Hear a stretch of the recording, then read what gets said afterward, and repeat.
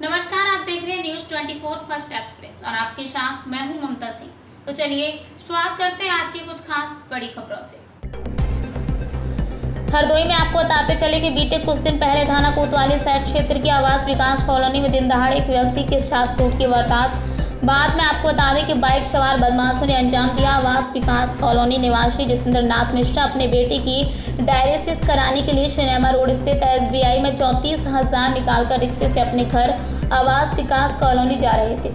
उनके घर के निकट नगर पालिका का निर्माण कार्य चल रहा था, इसलिए जितेंद्र मिश्रा रिक्शे से उतरकर अपने घर को पैदल चलती है उस समय पीछे से आई बाइक सवार दो बदमाशों ने उनसे रुपया से भरा बैग छीन लिया और फरार हो गए। इस दौरान बुज़ुर्ग जितेंद्र नाथ ने शोर मचाया तो कुछ लोगों ने बदमाशों का पीछा भी किया, लेकिन बदमाश बाइक से फरार हो गए।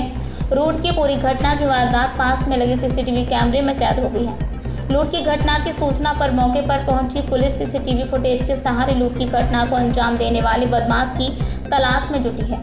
घटना की जानकारी अपर पुलिस अधीक्षक पूर्वी अनिल कुमार यादव को होने पर बताया कि शहर की आवास विकास कॉलोनी में लूट की वारदात हुई है।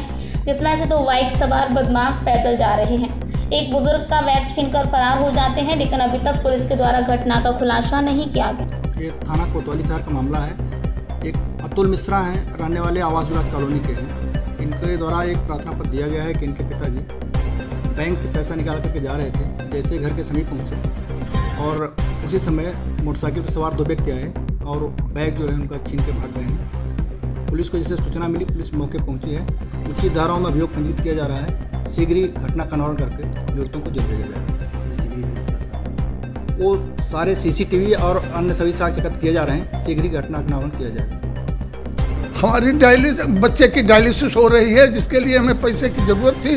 तो हम बैंक से पैंतीस हज़ार रुपया लेकर के और रिक्शे से घर आ रहे थे तो घर में के पड़ोस में एक पुलिया बनने के लिए खंडक खुदा हुआ था तो इसलिए हम रिक्शे से उतर लिए, पैदल, वहाँ से अपने घर आ रहे थे। इतने में मोटरसाइकिल से दो लोग आए और जिसने पीछे वाले बैठे हुए आदमी ने बैग को छीन लिया और शोर मचाने पर कुछ लोग और दौड़ के तब तक और मोटरसाइकिल से भाग गए। तब हम घर आए। हाँ इसकी हमने पुलिस को सूचना दी और स्टेट बैंक को सूचना दे दी।